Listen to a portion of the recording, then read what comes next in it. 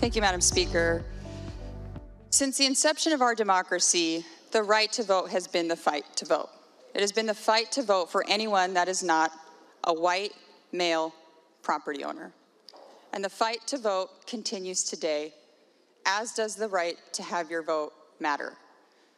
I learned this growing up in Pasco, where despite growing up in a neighborhood and attending schools where everybody looked like me, none of my elected leaders did. And it's not because people weren't voting, it's because at large election systems inherently are unfair and they can drown out the voices of communities already on the margins.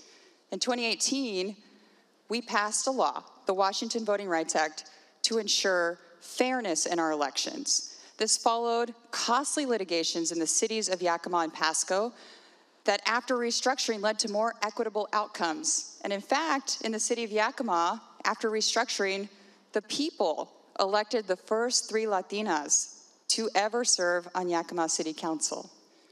The Washington Voting Rights Act works, and its promise is available to every Washingtonian, but we have to lower the barrier to access it.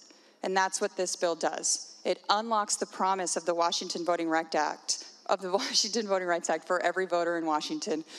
Let's finish this fight tonight.